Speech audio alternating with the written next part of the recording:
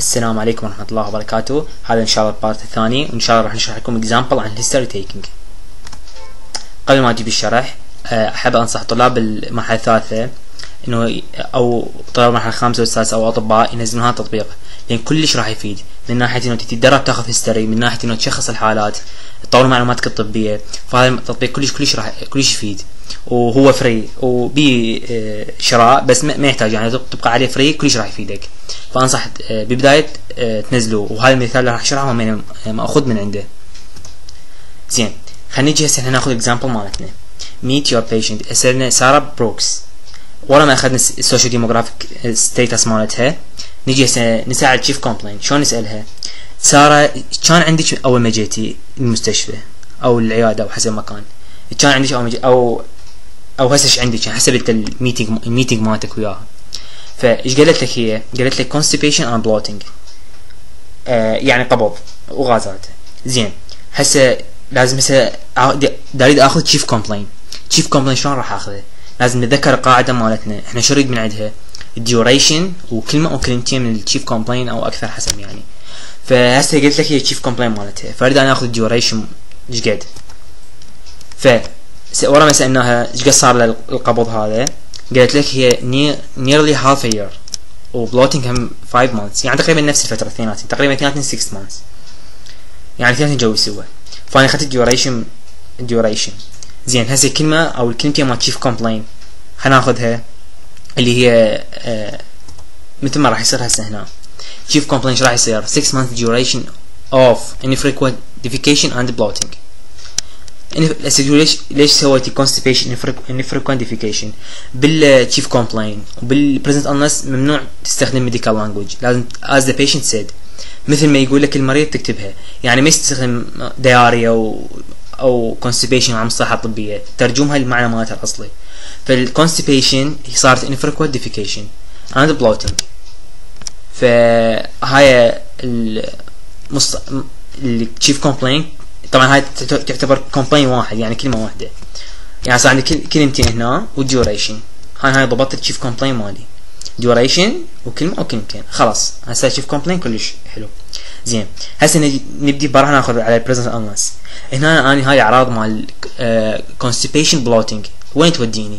توديني على ال GIT system فانا لو أرجع القاعدة من present illness ان concentrate on the main system يا هو the main system الثاني عندي. عندي GIT system فأنا راح راح آخذ من ال patient هو ال GIT history okay؟ فنبدي ناخذ من ال gastrointestinal history نسأل ال symptom مالته. يعني شو راح أسوي بال gastrointestinal history أول شيء أسأل details of the symptom مثل ما قلنا بقاعدة present illness بالفيديو السابق. ال details كل symptom ذكرت لي. هسه أنا عندي constipation bloating لازم أذكر الصفات مالته شنو.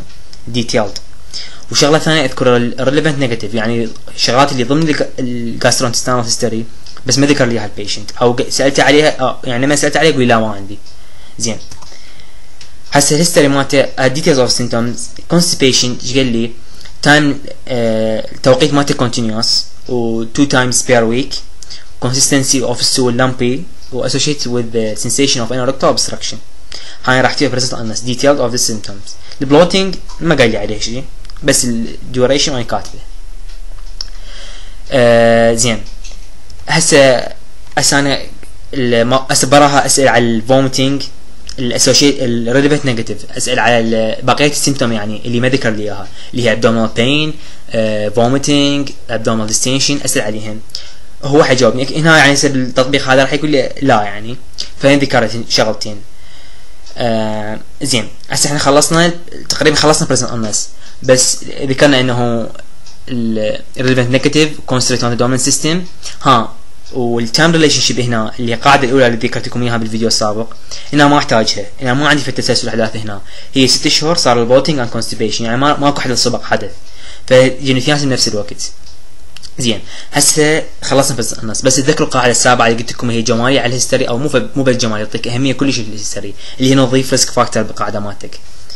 فال risk factor منين تجيبه؟ ال risk factor تجيبه من الأمراض المزمنة اللي بي تسال على الأمراض المزمنة تسال تسال على إذا أكو trauma تسال إذا أكو يأخذ drug تسال على إذا كان عنده hospitalization أو surgery ف أو social history من smoking من الكحول فهسه راح أسألها حسال سارة على ال social history لما لما سألتها إيش طلع عندها intravenous drug usage يعني هذا هو بالطب ال intravenous drug usage هذا بوحده يعني حيوديك اللي هو أمراض خاصة كلش راح يفيدك بال diagnosis فال risk factor مالتي إنه هي تاخذ مورفين مرتين بالأسبوع لمدة ست أشهر.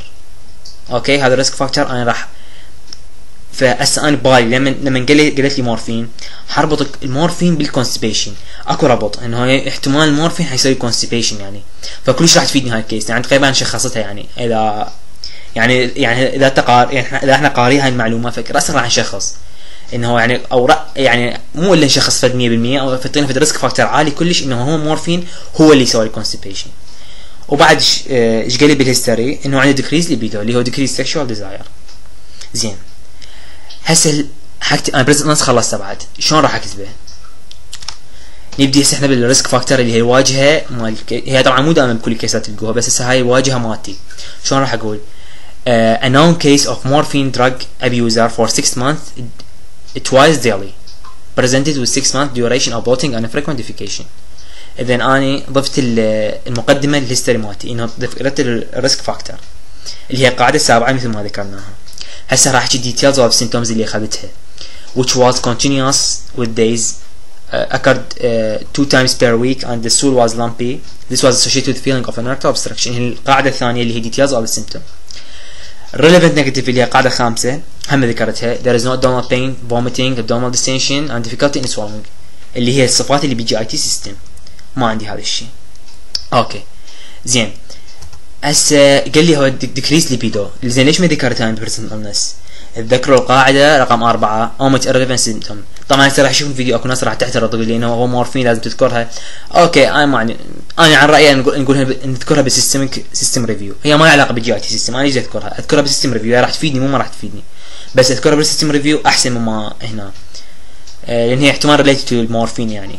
ف decrease libido ما أذكرها هنا بال GIT system بال present أذكرها وين؟ بال systemic review هسه خلصنا إحنا present illness هسه هذا ال present illness لو تقرأ قدام أي دكتور أي واحد دكتور راح يقرأ قبل راح يعطي differential diagnosis كلش راح يفيدك قبل حيوديني على ال investigation أو ال examination فملاحظات عامة. أه هسه إحنا مو ذكرنا GIT system بال present illness لا تذكر إياه بعد بال systemic review ها هي خلاص present illness بعد تعيدها مرة ثانية. مثل ما لاحظتوا انه ما استخدم medical language ممنوع تستخدمها انت هنا لأنه مثل ما هو مريض يقول لك تقعد تنقل. وملاحظة هم لوخ إنه general system هم عندكم اللي هي fever weight loss و rigors و sweating هذين السوالف أه تقدرون تطبقوها ويا ال present illness أنا عن رايي عن رأيي إنه أطبقها أحسن. لأن راح تواجهون إنه أمراض هواي مثلا related respiratory cardio مرتبطة بال present illness مالتك. فأنا إذا يعني أنا عن رأيي إنه تطبق كل present illness تضيف له general system يعني أنا أقدر ال present illness مالتي قبل شوي ذكرت أكتب بالأخير. There is no fever there is no rigor there is no sweating وهكذا. هم راح تفيد كل شوية ويطلع لي يسوي لي exclusion هواي diseases هاي طبعا خلصت وياكم. آه إن شاء الله استفاديتوا وشكرا. وتذكروا إنه ترى ال history هو 80% medicine examination investigation باقي عليه 20% فخلصت اني وإن شاء الله على الفيديو الثاني إذا بقينا طيبين إن شاء الله نسوي فيديو عن communication with ال patient العراقي بالأخص يعني. وشكرا جزيلا.